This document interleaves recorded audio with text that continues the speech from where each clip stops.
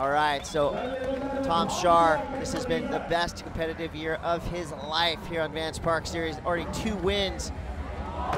Huge kickflip Indy onto the bank to start it off.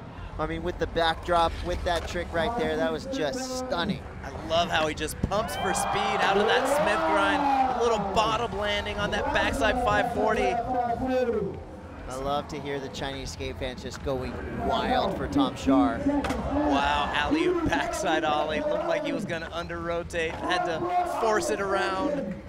I had a feeling this was going to be Tom Schaar versus Pedro Barros, and that's what it's looking like right now. These two titans Big throwing hammers. Back disaster, perfect. And the nose grind popping out. Almost thought about grabbing the hat right there. Amazing run, Tom Schaar.